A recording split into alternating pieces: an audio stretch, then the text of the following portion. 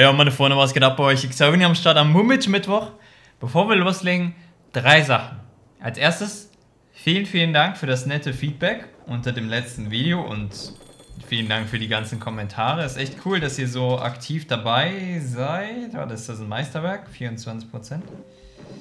Äh, ja, viel zu schlecht. Aber vielen Dank, dass ihr so aktiv dabei seid und euch über diese Videos freut. Das freut mich sehr. Es dauert natürlich erstmal wieder seine Zeit, bis genug Leute auch davon mitbekommen, dass ich wieder Boom Beach Videos mache. Aber ich freue mich, dass es doch bei einigen sehr gut ankommt und ich ein paar glücklich machen kann. So, was wir hier nehmen, das wird sich im Laufe des Videos entscheiden. Da müssen wir gleich mal zurückgreifen. Ich sage euch gleich, was wir vorhaben und ihr seht unten rechts schon, mit was wir heute angreifen werden. Nummer zwei. Was haltet ihr davon, wenn ich nächsten Samstag am, ich schaue ganz kurz nach, die Daten habe ich nicht auswendig im Kopf, am 27. März Boom Beach streame. Das wäre der erste Boom Beach Stream auf Twitch. Was haltet ihr davon? Schreibt es gerne in die Kommentare. Ich würde dann ab 17 Uhr streamen, beziehungsweise um 17 Uhr. Meistens ist es so 5 bis 10 Minuten nach 17 Uhr. Muss dann immer alles einrechnen. Das war jetzt der erste Boom Beach Stream. Würde mich sehr freuen, wenn ihr euch dafür interessiert und wenn ihr auch dann zuschauen würdet. Link zu meinem Twitch-Channel ist in der Beschreibung, falls du nicht auf den Link klicken willst. Ich heiße da X-Heaven Live. Ja, mit V und nicht mit F. Ja, ansonsten, ja, also würde mich mal interessieren, was ihr davon haltet, ob die Zeit passt, ob der Tag passt. Und ja, schreibt einfach was dazu in den Kommentaren. So, zum heutigen Video. Also, wir haben als allererstes Abfackler. Unser Boot ist übrigens jetzt aufgewertet und ich hatte recht, es geht auf 24. Boah, das, das wird eine Aufgabe. Jedenfalls haben wir Abwackler und ich habe es zuerst mal mit Medics getestet. Und dann meinte Tommy, nee, nimm mal lieber die Grenadiers. Und dann habe ich jetzt für dieses Video zu den Grenadiers gewechselt. Ich wollte es erstmal mit den Medics testen, ähm, aber anscheinend sind die Grenadiers sinnvoller. Zu meinem Hintergrund, ich habe mit Squadron sehr, sehr, sehr selten gespielt, weil sie mir, weiß ich nicht, zu teuer damals, glaube ich, waren von der Energie her. Aber eigentlich ist das gar kein großes Problem. Ich spiele immer sehr gern mit sehr viel Energie. Aber okay, ähm, eigentlich sind die ganz cool. Nur das Problem ist, die müssen natürlich noch aufgewertet werden. Also die können noch viel besser werden. Und wenn wir die Boote auf 24 bringen, können wir auf jedes Boot noch einen extra Abfackler packen. Das heißt, äh, meine aktuelle Power kann ums Doppelte gestärkt werden. Sogar noch mehr, wenn wir hier die Level-Ups dazu zählen. Also das, was wir heute sehen, ist nicht das finale Ergebnis. Die Abfackler können viel, viel, viel stärker werden. Nichtsdestotrotz möchte ich heute mit denen spielen. Und kommen wir zur letzten Sache, die ich ansprechen wollte. Ich habe gemerkt, dass die Leute irgendwie mehr Statuen haben als ich. Und dachte so, what? Das kann ja nicht sein.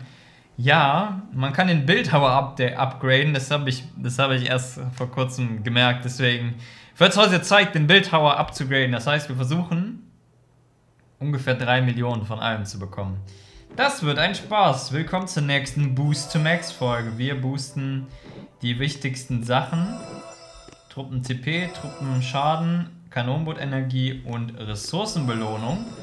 Und dann können wir im, ne, ich meine, ich habe 1278, dann können wir demnächst hier ein äh, Rechner mehr herstellen. Wahrscheinlich nämlich dann ein Truppenschaden oder ein Kanonenboot-Energie. Je nachdem, für was ich mich entscheide oder was ich als nächstes bekomme.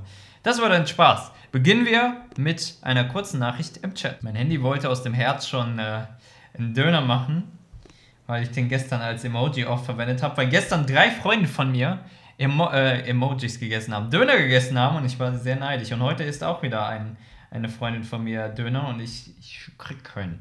So, legen wir mal los. Dr. T ist auch da, der bringt uns nicht so viel Loot. Wir müssen erstmal ein wenig mit den Scorchern üben. Deswegen greifen wir am besten erstmal eine Base an, die vielleicht nicht so stark ist, die dennoch ein bisschen Loot mitbringt wo wir vielleicht ein bisschen üben können. Das ist ein klassischer Kandidat mit seinen grünen Statuen. Oh Gott, ich hasse diesen Greifer. Die sind so schwer. So tanky. Das heißt, was machen wir mit Scorcher? Wir haben letztens die Strategie von Tomi gesehen, der einfach so sneaky hinter das HQ gefahren ist und alles kaputt gemacht hat. Das war mega nice. Gefährlich für uns sind auf jeden Fall Boomkanonen und Schockwerfer und halt diese Greifer. Wenn wir halt von links, ich will hier in diese Region reingehen, dann müssten wir eigentlich nur die Boomkanone ausschalten, die hier nicht und die hier. Also die zwei Boomkanonen sind wichtig und der Greifer. Ich habe halt keine Ahnung, wie, wie viel Energie wir brauchen zum Droppen. Wir brauchen 8, 16, 24, 32, 40, 48 Energie. Und wir wollen dann natürlich auch irgendwann schocken. Dann schaue ich mal, wie, wie viel Energie wir verbrauchen, um den Greifer kaputt zu machen. Bin ich mal gespannt, ob wir das überhaupt hinkriegen. Ah, okay, es ging. Ich hoffe, ich habe nicht irgendwas verschwendet. Ich weiß es ehrlich gesagt nicht. Dann arbeite ich demnächst sofort schon mal an dem hier. Ich sollte es vielleicht nicht übertreiben, aber hier kriegen wir ein bisschen Energie zurück. Das passt und wir haben noch genug, um die zu droppen. So, ich weiß nicht, welchen Helden man am optimalsten mit Abfacklern kombiniert. Das könnt ihr mir gern in die Kommentare schreiben. Ich habe jetzt einfach mal den hier verwendet. Wir werden gleich jetzt schocken, bevor er einen Schuss abfeuern kann. Wahrscheinlich werden wir dann als nächstes hier hinten den Schockwerfer schocken mit, naja, nicht mit der Boomkanone, sondern mit den Kanonen daneben. Das sieht ganz gut aus. Wir machen jetzt mal hier den nächsten Schock. Okay, das läuft auch ganz gut. Ich lasse sie da unten nochmal ein bisschen aufräumen. Und dann lasse ich mich jetzt hier erstmal versammeln. Mache jetzt hier nochmal den nächsten Schock rein. Und guck mal, wie das Ganze läuft. Bin bisher sogar relativ zufrieden, muss ich sagen. Ja, passt eigentlich ganz gut. Unser Dude ist da unten. Und wir haben jetzt alles soweit vorbereitet. Wir gehen jetzt erstmal nach da hinten. Ich will nicht, dass die Abfackler Opfer werden. Können wir den retten? Das wäre ziemlich nice, wenn wir den irgendwie retten könnten. Und dann mit Energie den irgendwie wieder zurückholen könnten kriegt gerade keinen Schaden. Soweit, so gut. Bin bisher zufrieden. Hm, ich drop da mal ein Medkit und werde jetzt hier drauf schießen. Und dann fehlt nur. Wieso geht der, der schon eh fast kaputt ist, nach da vorne? Okay, wir haben jetzt einen verloren leider. Aber ist okay. Ist okay. Wir gehen jetzt ähm, nochmal von der Seite rein und werden jetzt alles aufs HQ gehen. Ich weiß, ich habe die Fähigkeit von unserem ähm, Typ gar nicht benutzt. Also von unserem, von dem hier.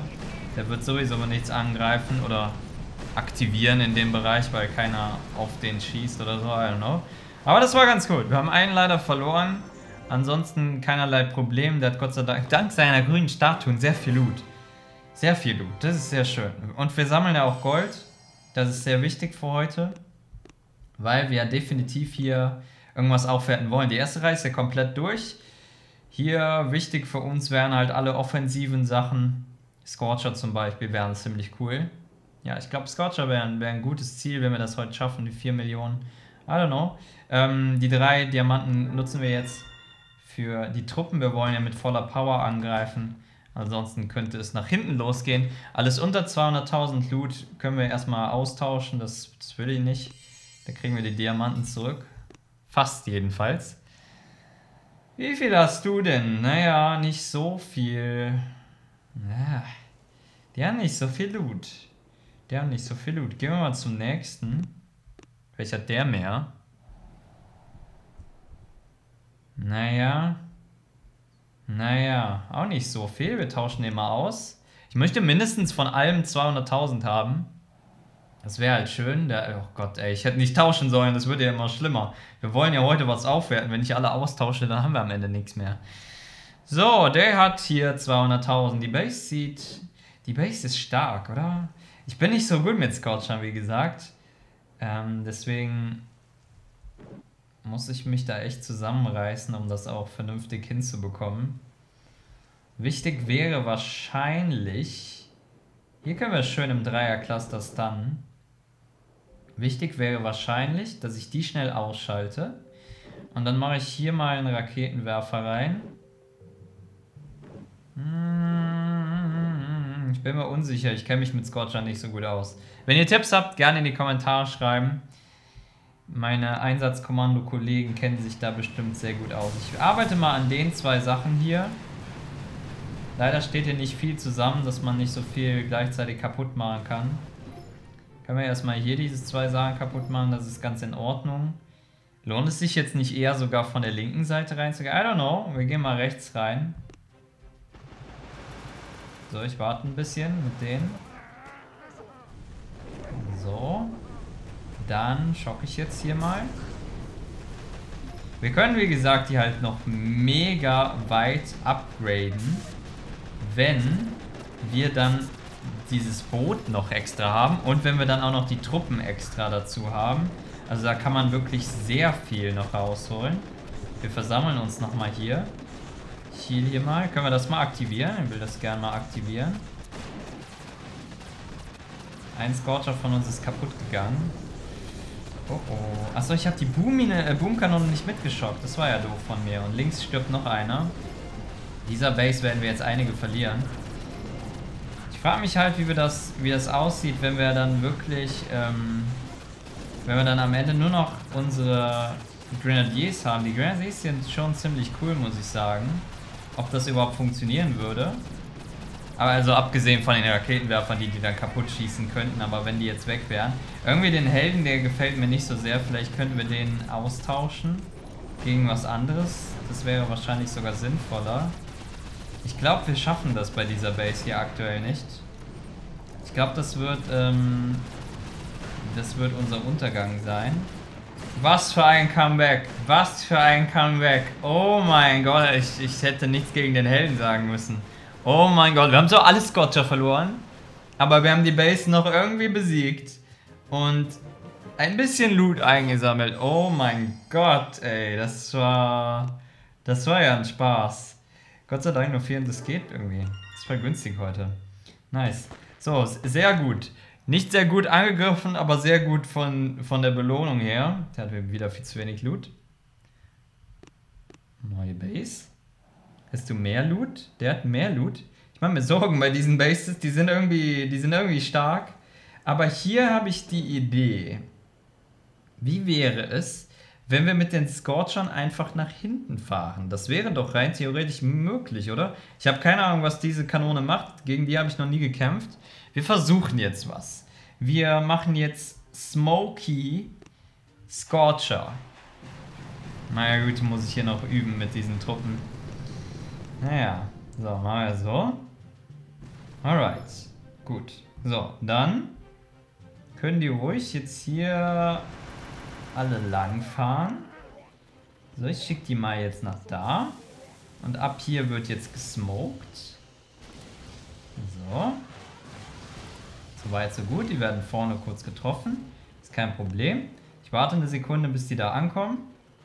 Die können da ruhig schon mal so ein bisschen fahren, beziehungsweise die bleiben ja sogar stehen, noch besser.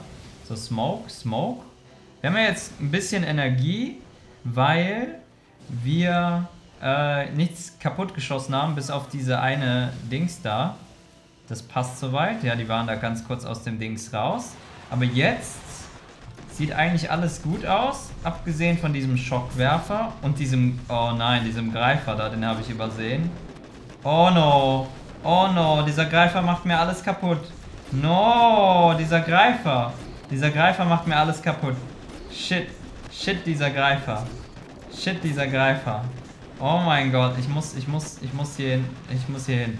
Diesen Greifer. Boah, dieser Greifer kann einem alles kaputt machen.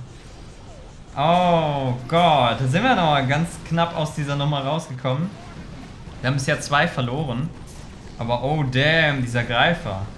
Dieser Greifer. Da, okay, also guter Hinweis. Danke, Bates, dass du mich jetzt, na, dass du mir das auf der harten Tour beigebracht hast. Greifer sind die größte Gefahr für Scorcher, wenn man abkürzen will oder Trick 17 von hinten einfach angreifen und alles ignorieren. Dann muss man definitiv aufpassen, dass ein Greifer nicht einen in die Mitte von der Base zieht und man dann von allen Boomkanonen angegriffen wird. Oh boy. Der dachte, also wenn er sich das anschaut, keine Ahnung, ob der das macht, denkt er bestimmt auch so, hahaha. Genau auf meinen Trick reingefallen. Oh mein Gott. Okay, elf Diamanten. Gut. So, Kiste. Wir nehmen, naja, sieben Diamanten zurück. Warum nicht? Schauen wir mal, ob einer bitte ganz viel Loot hat. Das wäre so schön. Am besten eine einfache Base. Gut, nächste Base. Ich bin nicht, ich war damals, ich war nie der Panzer-Scorcher-Spieler. Ich habe sehr gern mit, also meine Lieblingsstrategie war Krieger. Olsuka habe ich dann auch öfter mal in der Operation gespielt, also früher. Hooker war auch in Ordnung. Und All Medics oder Heavy, wie heißen die nochmal? Rifleman. Heavy Rifleman und Zucker habe ich auch gern gespielt. All Heavies habe ich sehr gern gespielt, da kann man auch nicht viel falsch machen. Ähm, ja, okay, versuchen wir das hier mal. Ich bin selbst gespannt, wie ich das angehe. Ich weiß es ehrlich gesagt jetzt noch nicht. Vorne kann man das eigentlich sehr gut kaputt machen. Ja, okay, also, ich will das hier kaputt machen und das hier kaputt machen. Kann man nämlich sehr viel gleichzeitig angreifen. So, jetzt können wir einmal, ich glaube, ich mache die rechte Seite hier noch kaputt. Ich versuche es zumindest, aber ich denke, das passt. Wenn wir hier nochmal drauf schießen. So, und dann könnten wir das hier noch auseinandernehmen. So, und dann können wir hier vorne die drei Sachen gleichzeitig schocken und haben eigentlich gar kein großes Problem mehr. Ich sag das so schön. Ich gehe auch davon aus, wenn ich denn richtig schocken würde, ich Idiot, dann hätten wir kein Problem, wenn wir richtig schocken würden. Deswegen schocken wir jetzt nochmal richtig, damit auch wirklich kein Mist da rumkommt. Und ansonsten haben wir eigentlich gar nichts mehr, worum ich mir Sorgen machen müsste. Nehme ich mal an, zumindest. Ich sehe jetzt gerade nichts, was mir irgendwie Angst bereitet. Diese Base wird jetzt richtig auseinandergenommen. Nice. Okay, das war ja mal ganz gut, ausnahmsweise. Die war jetzt auch nicht schwer. Da habe ich mir jetzt keine großen Gedanken gemacht, aber ja, easy. Ja. Mini-Roboter und unser Held waren eben wirklich so die Rettung in letzter Sekunde. Der haben alles kaputt und der, der kriegt das noch hin. Ich, hab, ich hätte nie gedacht, dass die das noch schaffen. Ich dachte so, okay, nutz die letzte Energie, versuch es wenigstens. Vielleicht hast du ja noch die Chance, den richtig zu flären und dann steht er in einem toten Winkel und wird nicht von der Boomkanone getroffen. Und ja, es hat funktioniert, Gott sei Dank. Und Mini-Roboter haben uns wirklich, also die haben uns wirklich noch geholfen. Es war ziemlich nice. So, wir haben nichts verloren. Bisschen Eisen gewonnen, das ist sehr wichtig. Meistens habe ich immer zu wenig Eisen. Oh, wir sind ja aufgestiegen, sehr gut. Meistens habe ich zu wenig Eisen. Aber ja.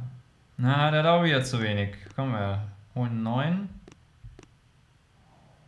Was hast du für Loot?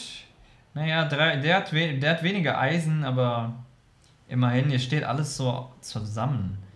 Hier können wir auch schön von hinten wieder Energie farmen. Sollen wir das machen? Ich hoffe, ich verzettel mich nicht, wenn ich das wieder mache, dann, dann farmen wir halt Energie, aber ich krieg trotzdem nichts hin. Versuchen wir es mal. Äh, hier kann man wenigstens, ich weiß, hier ist ein Greifer. Ja, den Greifer müssen wir definitiv ausschalten und den werde ich auch ausschalten, diesen dummen Greifer. Das wird mir nicht nochmal passieren. Aber hier hat man wenigstens sehr viel, dass man gleichzeitig angreifen kann. Und ich schieße daneben, aber es hat trotzdem gereicht. So, das können wir kaputt machen. Jetzt, wir, jetzt haben wir hier ein Vierer-Cluster, wo ich reinschießen kann. Wir müssen da denken, wir müssen ein bisschen Energie auch gleich haben für unsere Abfackler. Deswegen nicht zu viel ausgeben. Aber so die wichtigsten Sachen kaputt machen. So, jetzt haben wir hier vorne so ein paar Boomkanonen und da links noch eine. Das ist gar kein Problem, sagt Heaven. Jetzt. Und äh, wir versuchen unser Bestes. So, ich smoke mal jetzt hier hin. So. Werde hoffentlich nicht groß angeschossen. Ein Grenadier ist gestorben, das ist kein großes Problem. Wir gehen jetzt nach da hinten. So, der Smoke dürfte passen. Ich mache noch mit Star einen Smoke. Mehr, mehr kann ich sowieso nicht setzen. Ähm, und jetzt hoffen wir mal, dass das Ganze klappt mit dem Energy Farming. Ist jetzt so das erste Mal, dass ich sowas teste. Stimmt ganz okay, würde ich mal sagen. Müsste ein bisschen auf meine armen ähm, Dings Grenadier achten, aber die stehen jetzt sowieso weiter hinten, also sollte das eigentlich kein Problem werden. Dann können wir jetzt hier an der linken Seite an diesem Ding dran arbeiten. Dass wir hier das kaputt machen, hier diesen Dreierblock. Naja, okay, oder so, diesen Zweierblock, das war ja auch ganz in Ordnung. Ja, das passt eigentlich ganz gut. Ich nehme mal an, das kriegen wir hin. Wir sammeln jetzt hinten ganz viel Energie. Und können jetzt eigentlich ohne Probleme in Richtung HQ fahren. Ich weiß, hier ist noch ein äh, Schockwerfer, der uns ein bisschen auffällt. Ich hoffe, man hört mich halbwegs gut. Ich äh, lauf, ich rede so ein bisschen... Junge, lauft nicht so weit nach hinten. Ähm, ich gucke so, ich guck sehr konzentriert auf den Bildschirm und nicht so richtig ins Mikrofon. Deswegen, äh, ja, so viel dazu. Aber easy. Und wir haben nur ein, ne, zwei, zwei Grenadiers verloren. Das ist okay. Ist okay. Nice. War auf jeden Fall gut vom Loot her. Sehr gut. Schauen wir mal in der Zwischenzeit rein, wer heute da ist. Yeet ist wieder da. Hallo Heaven, hallo YouTube. Hi, zurück. So, schauen wir mal, wie viel wir noch brauchen. Also, erstmal. Junge, ich kann, ich, ich kann nicht dieses Ding anklicken, Arsenal. Wir brauchen hier noch 3 Millionen. Okay. Und hier brauchen wir noch eine Million Steineisen. Okay, kriegen wir hin. Wir können ja auch gleich noch ein paar NPC-Bases kaputt machen. Das geht ja relativ zackig. Versuchen wir noch eine gute Player-Base zu finden. Na, vielleicht finde ich noch eine bessere. Ich will die nicht austauschen, bevor das die beste ist mit dem vom Loot her. Die gefällt mir. Die, die können wir so easy im Sneaky-Modus auseinandernehmen, oder? Das machen wir jetzt. Das machen wir jetzt. Wir haben es gerade gelernt bei einer schwierigeren Base. Und jetzt müssen wir das einfach ausnutzen, dass wir das hinkriegen und dass wir gut sind. Ja, das behaupte ich jetzt einfach mal und schieße daneben, ich Idiot. So. So weit, so gut. Ich denke, das kriegen wir hin. So. Wir sind ja Smoke-Meister, ja? Wir sind Smoke-Meister. Deswegen gehen wir jetzt da lang. Ich hätte nichts sagen sollen, aber ja, wir sind Smoke-Meister. Weil ich da vorne schon getroffen wurde, meinte ich, ich hätte nichts sagen sollen. So, wir gehen jetzt weiter nach da hinten. Ich weiß nicht, was diese Box da macht, also dieser Lautsprecher, den kenne ich auch noch nicht. Ich hoffe, er, es ist keine böse Überraschung, die mich jetzt gleich da kaputt macht. Das wäre nicht so schön. Ja, und jetzt äh, lasse ich die Leute einfach mal ein bisschen fahren. Und denke, dass die es regeln. Wir haben schon wieder Grandiers verloren. Aber das ist kein großes Problem. Das Ding wird so easy jetzt kaputt gehen. Ich weiß nicht, was diese Boxen machen. Was machen diese Boxen? Geht zurück, Leute. Lasst euch nicht von diesen Raketen, äh, von diesen Boomkanonen kaputt machen. Ich will nur, dass alle aufs HQ schießen. Nice. Easy. Arme Grenadiers. Aber kein Problem für uns. Sehr gut. Sehr gut. Da haben wir das Loot. Das war einfach ganz schnell mitnehmen. Das war, das war zu einfach. Achso, wir haben nur einen verloren. Ich habe den anderen gar nicht hergestellt. Ach, der Arme. Egal. So, ich habe mal ein paar NPC-Bases kaputt gemacht. oh, okay. Also, wir haben es geschafft. Wir haben es geschafft. Wir brauchen nur am besten noch 1,4 Millionen Gold. Oh boy. Oh boy. Oh boy. Wir haben es wirklich... Wir haben, wir haben wirklich alles geschafft und jetzt habe ich ein bisschen Gold verschwendet. Ist mir egal.